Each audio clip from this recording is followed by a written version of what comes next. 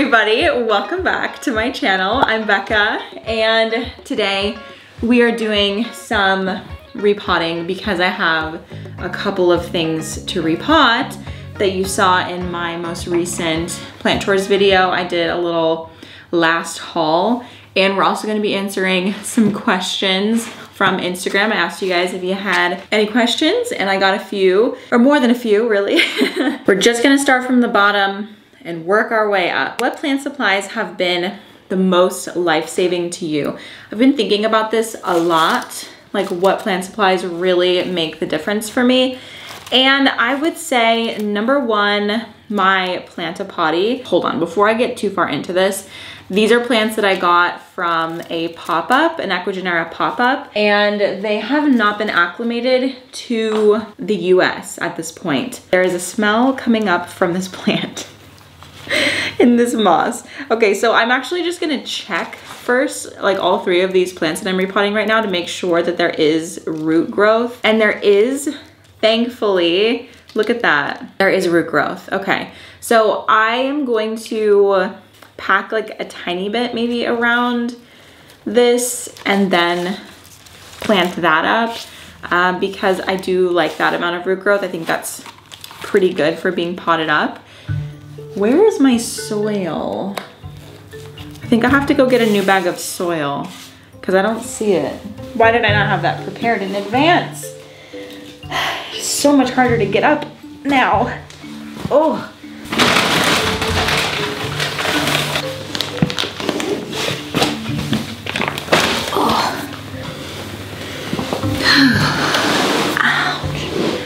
And the plant that I'm potting up is the Plowmanii, the, the Philodendron Plowmanii pastazanum. It's very beautiful. The leaves are starting to be revived a bit, I think because that root system is finally coming in. But it was looking a little sad for a bit there. Probably also just due to the fact that I kind of not forgot about them. I It didn't click in my brain that they wouldn't be like well rooted and established possibly. So I was kind of treating them as if they already were, but I figured out pretty quickly that that is not the case. And so I started being a lot better of a plant mom. Okay, so back to life-changing plant products. I said the Plant-A-Potty, this soil scoop is definitely up there, like very, very high. I got it from RT1 Home. If you want like this exact one, I can link them. But this plant is a creeper.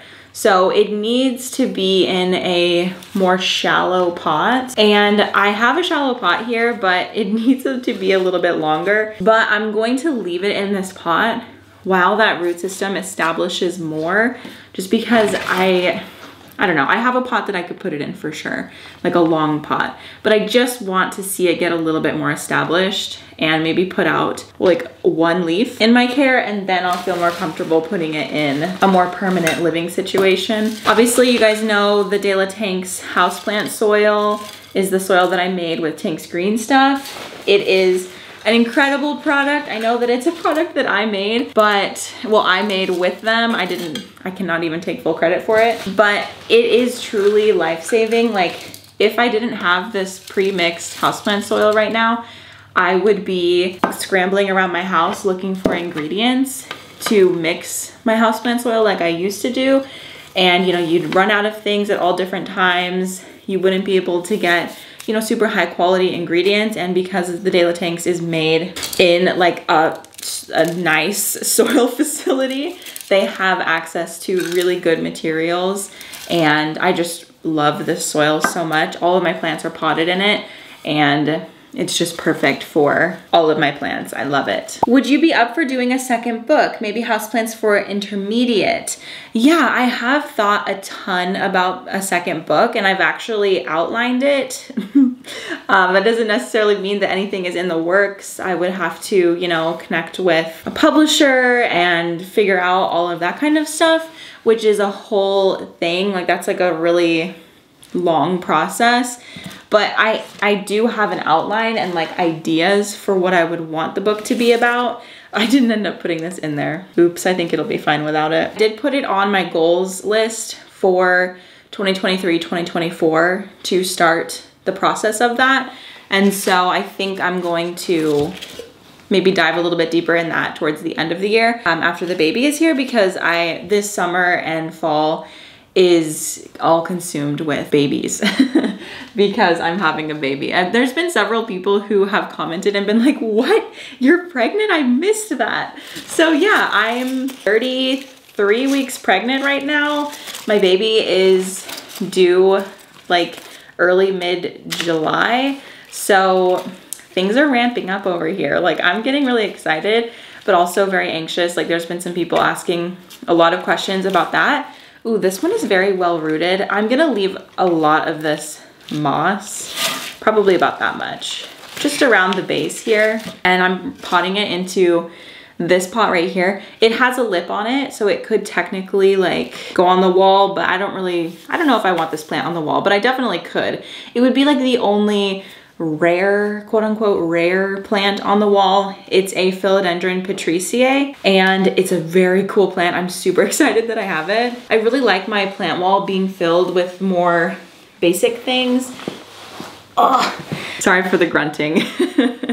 uh, now that makes more sense now that you know that I'm pregnant if you didn't already, but yeah. I just kind of like the idea of that being more, I don't know, just vines and things that are much less stressful to take care of.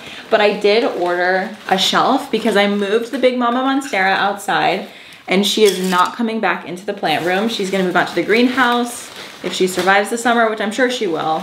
But she's gonna move out to the greenhouse after summer's over. And therefore, I'm gonna have an entire corner of my plant room empty. So I ordered from Etsy a, not cane, it's like a, band, not, not even bamboo, what is that called? Anyway, it's like an arched shelf that can fit in a corner. It's really pretty and it's being like handmade, I guess. I don't know, I'm pretty excited about it. And that is gonna go in that corner now and I'm planning on putting this plant and then a few of the plants that are on the bottom part of my shelf here because this this bottom bench is so full of plants like it's a little overwhelming and it just needs a little bit of a declutter. And of course, a lot of stuff is also gonna move out to the greenhouse, but I don't know what yet. So I'm kind of just spacing things out a little bit better. Favorite things the dogs are doing lately and do you notice, do they notice that you're pregnant? I've answered this I think in like almost every Q&A recently because people love my dogs. But no, I don't think that they know that I'm pregnant. I think that they can tell that something is different and like on days when I don't feel well, they're definitely more inclined to hang out with me. Whereas before they were much more like, hello, are we sleeping? Especially Cooper. Uh, but other than that, I haven't really noticed like a ton of changes in their behavior. Like they're not acting any type of way. But the other day, Leo did lay his head on my belly and it was very cute. And I think it was just because he realized that it was comfortable and not necessarily because he's like, thinking there's something in there, you know? Are you taking maternity leave and how long? Okay, so this is a question. My husband actually asked me, he's like, have you told your, your online friends that you're gonna be taking maternity leave? And I was like, no, I haven't. So I guess we should talk about that. Naturally, with having a baby, you hope to get at least a little bit of a maternity leave. And my maternity leave looks a little different because I am self-employed, like my job is YouTube. So I can take as little or as long as I want. Um, either way, it's not like paid, like I don't have a guaranteed paycheck during that time. Like I won't be taking brand deals because I'm gonna be taking care of a baby. So I'm not, if it if I did have a brand deal, it would be because it was like pre-filmed like in the next couple of weeks. But generally, I am planning on having one, but I just don't know at this point how long it's going to be. I am planning on pre-filming a bunch of videos so that I can still have an income off of like YouTube ads. But it sucks that I have to think, like it just sucks that we in general, like you're about to have a baby, your life is about to change forever and you're like, oh, what about money? Like anyway, we're super lucky to be in the situation that I'm in though, because I can kind of choose how I want it to look.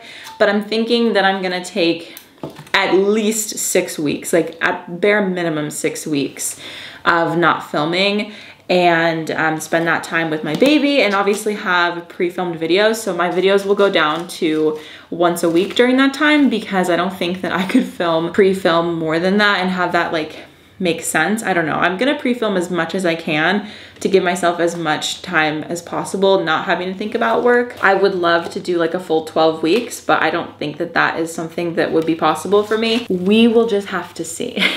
okay, this is an Anthurium longissime. Okay, this is the one where I was like, what is this called? And it has these like really pretty lance-shaped leaves and it does look like it's, okay, no, does not look like it's trying to put out a new leaf. Anyway, the roots look really good though, which I'm very, very pleased about.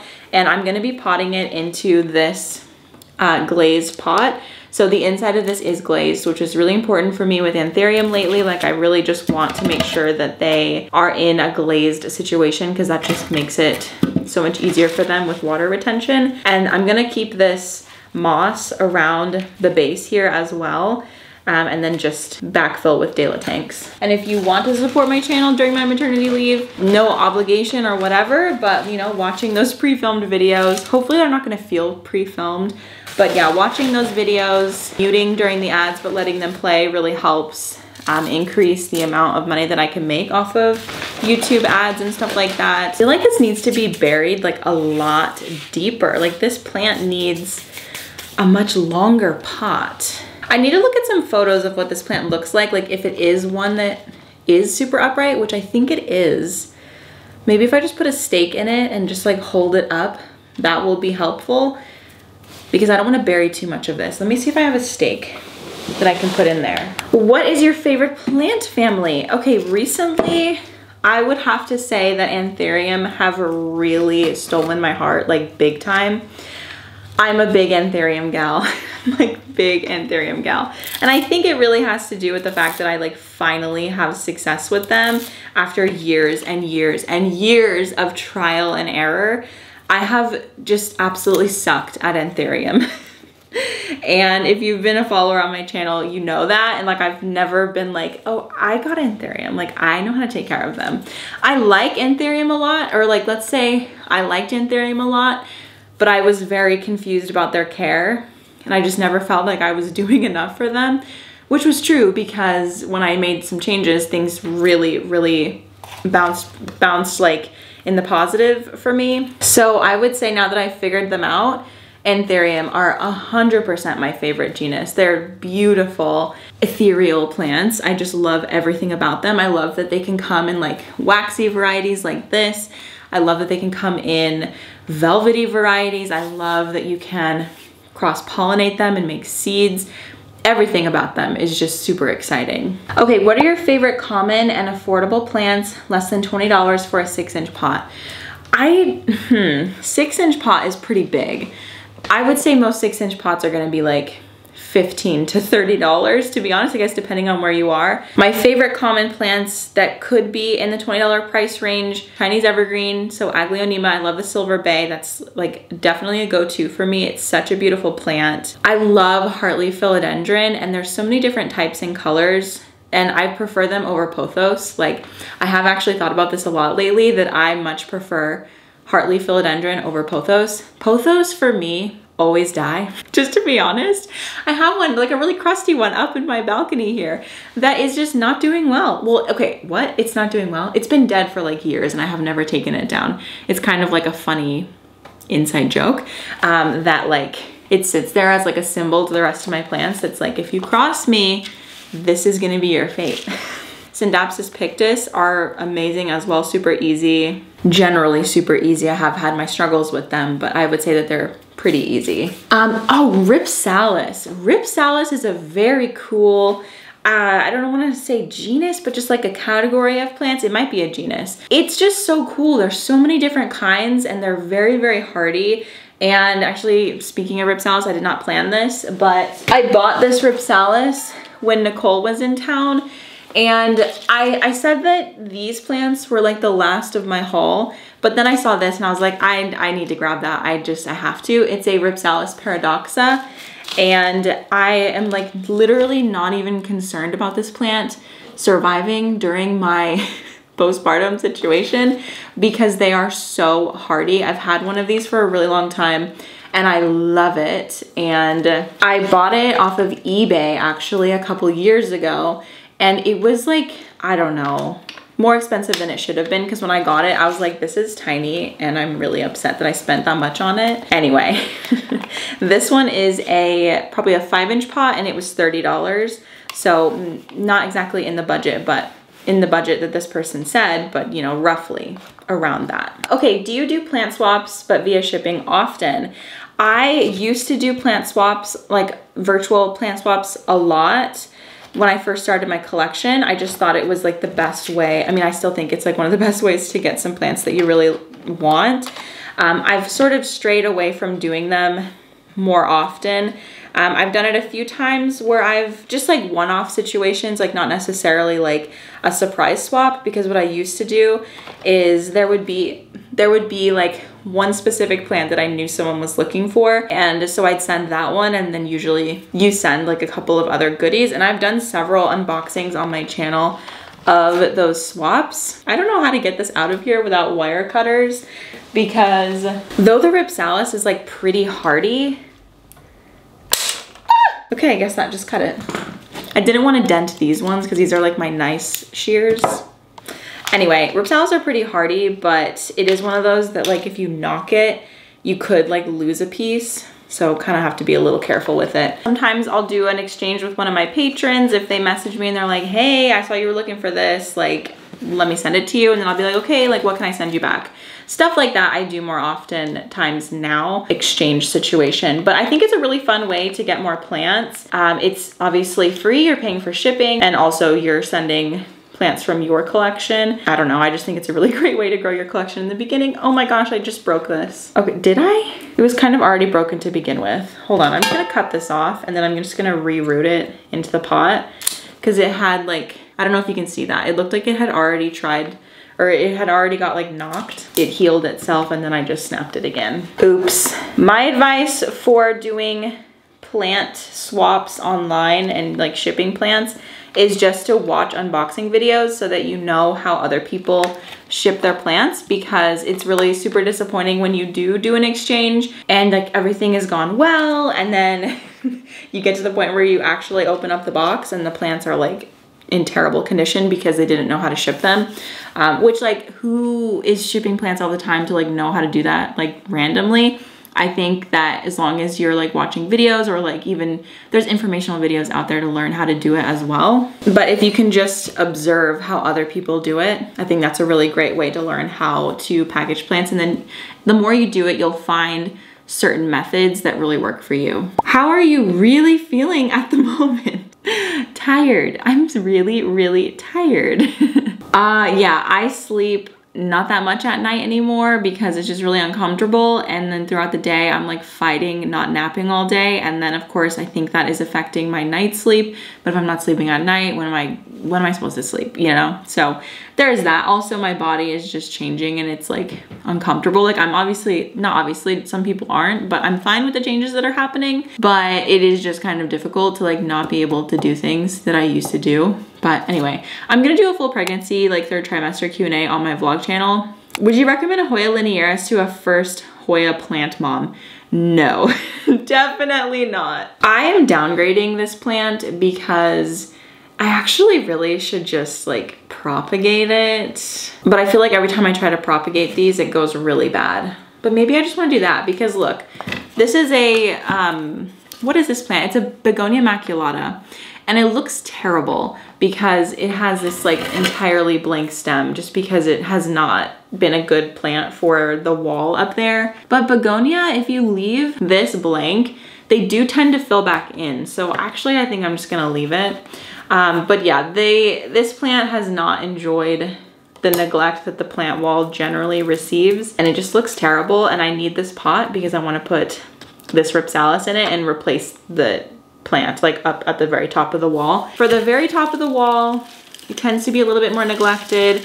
And so I just wanna put plants up there that are a little bit more hardy and not needing as much attention um, because it is annoying to crawl all the way up there. Not crawl, climb all the way up there on the ladder. So they just tend to get a little bit more neglected. Back to the linearis thing, I would not recommend linearis to a, a first time Hoya mom. It's one of the harder Hoyas in my opinion. Like I don't think it's a good beginner plant. So what I would, what I would suggest though is any of the Hoya carnosa hybrids.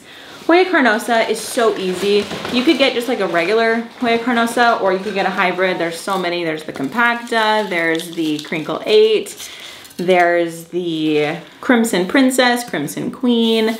I'm pretty sure those are all variations of the carnosa and they're really pretty and they have really pretty and good smelling flowers too if you are lucky enough to get it to flower. It's an exciting plant and I'd say that it's very easy. Do you ever feel bad when you give someone plant advice and it doesn't work out for them? A hundred percent. I yes. I would say though that I try to keep pressure off of myself because I don't give advice as if I am the end all be all of plant knowledge. Like I definitely keep it very open handed and very just open. Like I'm like, oh, this is what works for me. This is what I would do. Really avoiding the type of language that's like, oh, well, this is what you should do. And this is what always works because what works for me is not gonna work for everybody. And I have literally never claimed to be a botanist, a horticulturalist. I dropped out of master gardener school. I know things, but that doesn't necessarily mean that what I know is going to be absolute fact. So I've taken a lot of the pressure off myself to be right all the time, which is something that um, in my regular life, I like to be right but it's not like realistic because every plant situation is going to be different. You can't expect that you know, one size fits all advice is gonna work. Can't expect plant advice to be one size fits all. I think that makes more sense. well, that just fit perfectly. so now those roots can go down and get some new soil. Um, maybe even a, bit, a little bit bigger of a pot would have been good, but I think that this will be just fine. Oh shoot, I wanted to plant this into it. Hold on. Okay, so this offshoot, just like, you know, as we saw, I cut it off on accident. And I'm just gonna dig a little hole with my finger and literally just plop it in and it will root and it will be fine. Rhipsalis are a lot like cactus in that way, that like you don't have to do a lot to get them to root they will just do it. Very nice. All right, I have to pop in really quickly to end off this video because I talked a lot and there was a lot of questions that I wanted to answer and a lot of plants that need to be repotted. So if you enjoyed this video, stick around because I'm gonna be posting a part two very soon, answering more of your questions and repotting even more plants. So thank you so much for watching this video. If you liked it, please give it a like. You can leave a comment down below if you have any comments or questions, additional questions, I'll be happy to chat with you in the comments. And I do have a vlog channel, so if you like the chatty content, just hanging out with me, you can head over to my vlog channel for more of that. I just did a patio makeover. I just did a sew along. I just do a ton of fun stuff over there. So anyway, I'm excited to see you on the vlog channel if you haven't subscribed already. But otherwise, I will see you in the next video. Bye!